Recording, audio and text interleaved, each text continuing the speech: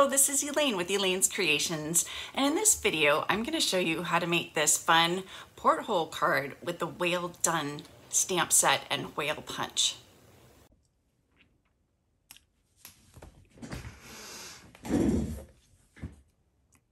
Here is the whale stamp set and whale punch, and I'm gonna show you how to make this portal card using the stamp set and punch. So I'm going to create a little scene here, and then we're going to use a window sheet to create a little window to look in on the scene. So I started with a thick piece of Whisper White. Um, just four and a quarter by 11 folded in half and I've got my little window sheet here. And I've already cut out a circle using the layering circles for the portal here. And I'm going to put the window sheet on the back here. So I'm just going to add some adhesive all the way around here. All the way around. Keep going around. Okay. And so we'll just uh, add the window sheet. Try to cover all the adhesive here. And you can use your bone folder to really adhere it down. And I've got my little um, cloth, you can use a cloth to cl that cleans eyeglasses or your screens on your phones and other things to clean off the piece here. I'll just clean the front a little bit.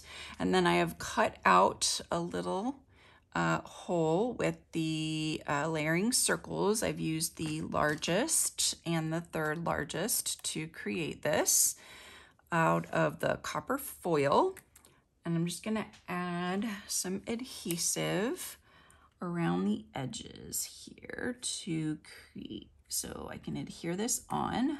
Just a little dab of glue, not very much, just the tiniest bit. And I'm gonna carefully put that in place here. And I'm just gonna be really careful because I don't wanna get the glue on the window sheet or on the copper foil. So I'm just going to use my bone folder to lightly put this down. And while this is drying, we'll create our scene right on the card. So I'm going to use Pool Party and a blending brush to just color my, um, I'm going to wipe this off on a little scratch sheet though, to just softly color the background here. So I'm going to start light then add some pressure just to kind of color the background of my scene here. So we've got ocean color back there. And I'll keep this open for the bubbles, but we've got some seaweed with just jade. So just ink that up and we'll stamp some over here. And then I'll come down and then we can stamp maybe one down here and down here. And then we can do the same thing with the little one. We can add a little bit with the little one here.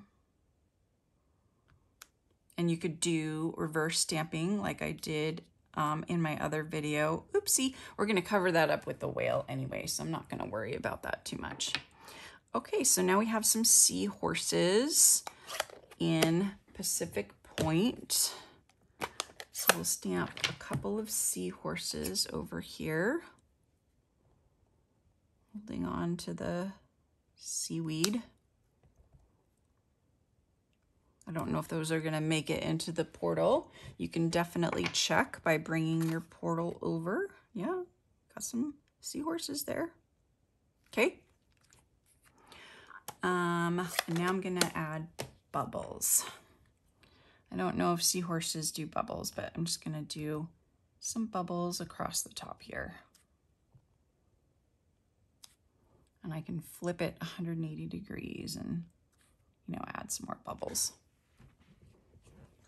Okay, so now for our whale.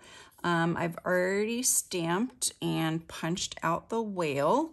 So here's the whale punch and I normally stamp on a strip. This is half inch tall and I just stamped it in basic gray and then punched it out with the whale punch. But I already had one done. So I'm just going to remove the backing, which is being stubborn, and uh, place the whale here. Let's take a look. I think I want the whale to go here. So just uh, go like that. And then I've already stamped and cut out my jellyfish and my turtle. I did rich razzleberry for the jellyfish and shaded spruce for the turtle. So I'm gonna put those on dimensionals and I'm going to stick those in the scene too. So we'll put the jellyfish right here, here. I'm gonna put it down here. Yeah, kind of cover that up or yeah. Hmm, yeah, right there.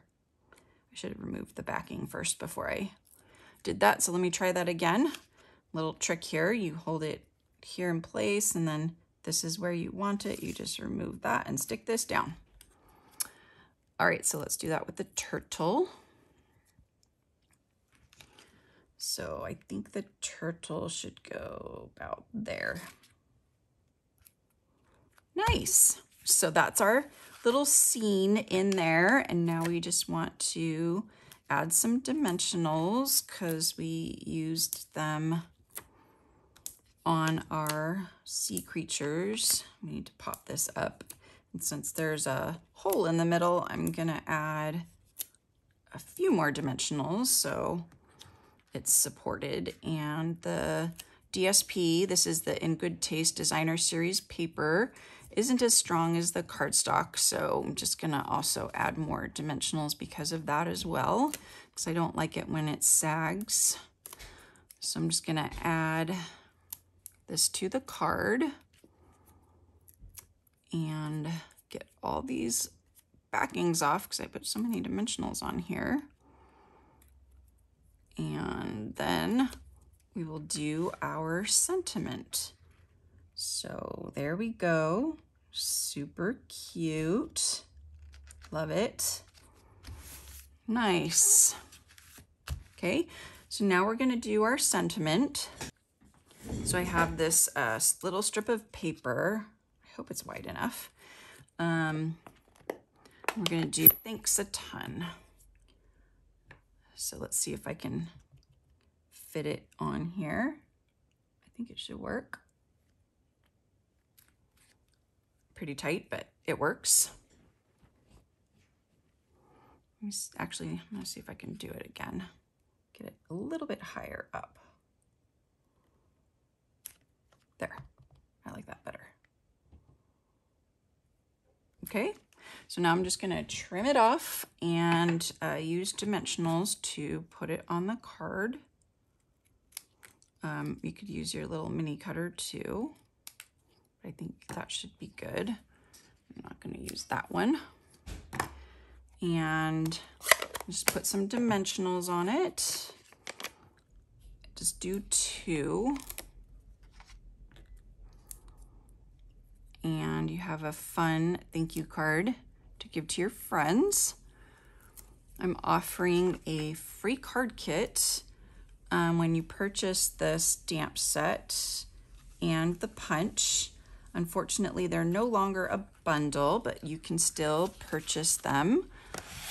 And it includes this portal card, my card kit, and a diorama card, and a shaker card. So just go to my website and use my current hostess code and email me and let me know that you would like this card kit and I will send it right out to you. Thanks so much for checking out my video tutorial on this card. I hope you check out my other video tutorials on the Whale Done stamp set and the Whale Punch. They're lots of fun. And don't forget to subscribe to my YouTube channel and click on the notification bell so that you know when I post a new video. Thanks again for watching and I'll see you next time. Bye.